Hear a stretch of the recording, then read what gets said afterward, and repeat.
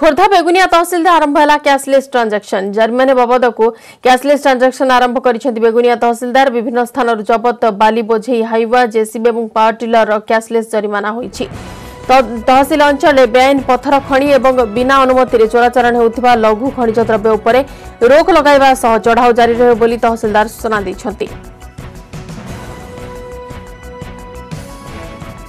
आज अचानक चढौक सका चढाउ बालि ट्रक्तिटा गएर स्टोन काटुति गए जेसि सिज गरिछु ए गए पावार टर सिज गरिछु आउ एटाको आम देखुछु जे बहुत फाइन काटिक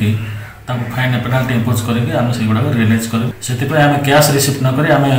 पिओस मेसन बा स्वइप मेसिन साइन टा कलेक्ट गर्छु आउँछ खुसी कथा आज त शुभारम्भ आज तार फाइन कलेक्सन गरौँ स्वइप मेसिन जरियर